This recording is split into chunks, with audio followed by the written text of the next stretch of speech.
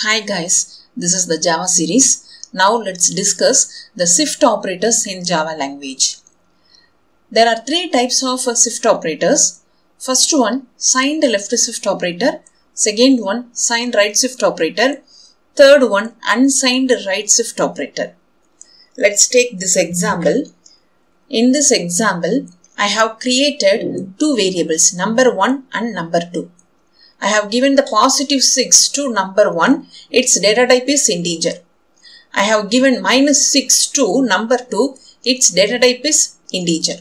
In this statement, I have used the toBinaryString inbuilt method. This method is present inside this inbuilt integer class. What is the usage of this method? This is used to find the binary value of the given decimal. Okay. So with the help of this method, I just print the binary value of number 1 and number 2. So this statement is used to print the binary equivalent of plus 6 and this statement is used to print the binary value of minus 6. Okay, and here I have used the left shift operator. This is the left operand and this is the right operand. Okay, so what is the value of number 1? Plus 6. So first step is what? The decimal value will be converted into its equivalent binary value. Okay, so what is the binary equivalent of 60110? So these 4 bits will be moved towards the left side by 2 times because right operand value is 2.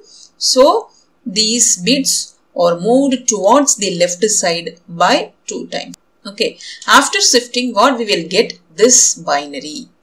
So what is the decimal value of this binary? 24. Okay, and here I have used the same left shift operator but number 2 holds the negative number. Okay, so what is the binary equivalent of negative 6? This is the binary equivalent of minus 6.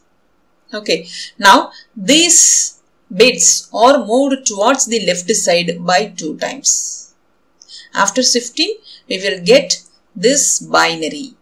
So what is the decimal value for this binary? Minus of 24. Okay, and here I have used the right shift operator. What is the first step? This number 1 that is 6 will be converted into its equivalent to binary value. That binary bits will be shifted towards the right side by 2 times because right operand value is 2. Okay, so 0, 1, 1, 0 is the binary value of plus 6. That binary will be moved towards the right side by 2 times. We will get 0, 0, 0, 1. Okay, and that value will be printed on our console. And here, what is it? This is the unsigned right shift operator.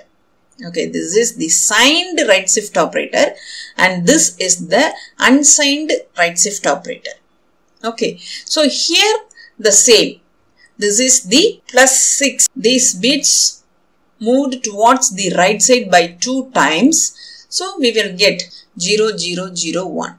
So this is the signed right shift operator. This is the unsigned right shift operator. Both the signed and unsigned right shift operators give the same result. But if the decimal value is minus value means we will get the different. Number 2 is minus 6.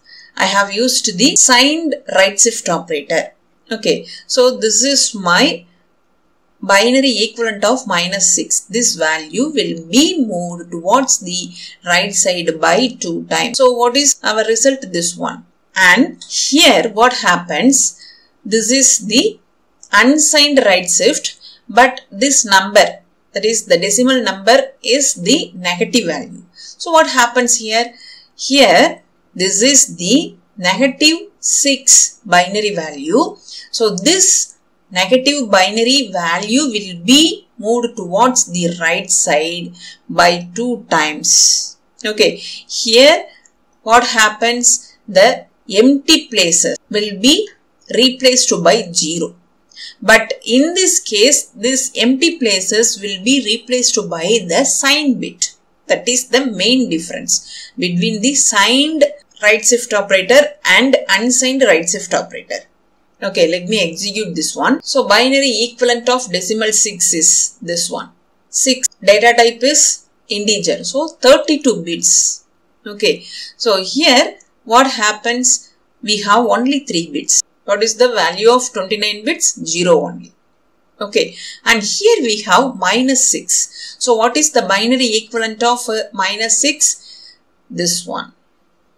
Okay, so here the sign bit is filled by the leftmost bits. So, this left shift of plus 6 is 24 and left shift of minus 6 is minus 24 and signed right shift plus 6 is 1 unsigned right shift of plus 6 1. So, both signed and unsigned right shift of values are same. But here, signed right shift of minus 6 gives minus 2, but unsigned right shift of minus 6 gives this value. That means what happens here, the sign bit is filled the empty spaces, but here what happens? Zeros only filled the leftmost empty spaces. I hope you all understand up to this. We have completed the bitwise shift operators. What are the shift operators we have seen? Bitwise left shift operator, bitwise right shift operator and signed and unsigned bitwise right shift operator. Okay. So what is the difference between bitwise signed and unsigned? Signed and unsigned right shift operators gives the same result for decimal positive numbers. But signed and unsigned right shift operators for negative decimal numbers gives the different result. If you have any doubts, drop the message on the comment section. Have a nice day. Thank you.